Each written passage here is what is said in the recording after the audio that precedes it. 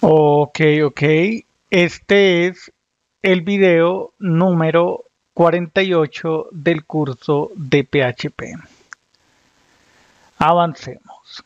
Tenemos pendiente revisar este problema resuelto. Básicamente es hacer una réplica, pero entendamos el código. Voy a llevarlo a Visual Studio Code. Estoy ubicando por aquí el editor Ok, aquí está. Entonces nos ubicamos aquí, estamos en el concepto número 17, demo 1704, eh, vectores asociativos e indiquemos, a ver, eh, meses.php. Ahí pego el código. ¿Qué nos encontramos aquí? Básicamente tenemos un bloque de código PHP. Voy a borrar esto. Eh, a ver, un segundo mientras que abro nuevamente la herramienta de resaltado. Tenemos una isla de código PHP comprendida entre las líneas 9 y 29. Ahí está el código.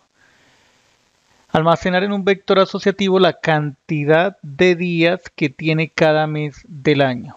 Luego accederlo por su nombre como subíndice. Un breve paréntesis. Ok.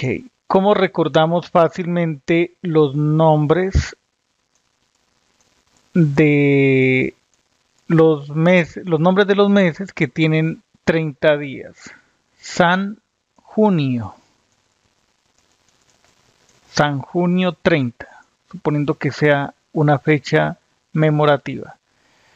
S de septiembre, A de abril, N de noviembre, por supuesto el mes junio. Esos cuatro meses, a ver, abril, junio, septiembre y noviembre esos cuatro meses tienen 30 días.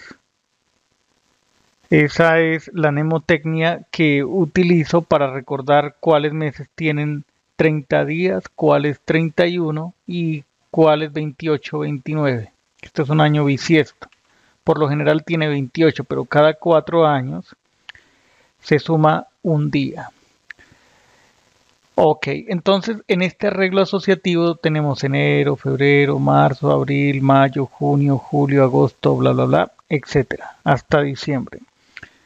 Está el valor que corresponde, el valor que se asigna a la llave es la cantidad de días. Enero 31, febrero 29, marzo 31, etcétera, etcétera, etcétera.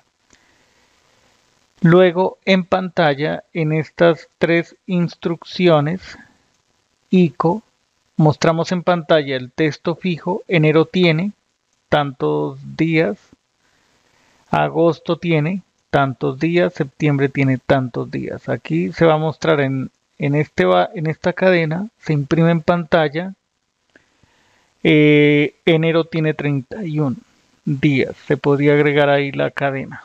Eh, podríamos eh, realizar esa tarea. Es así de sencillo. Agosto tiene 31 días, septiembre tiene 30 días. ¿Vale?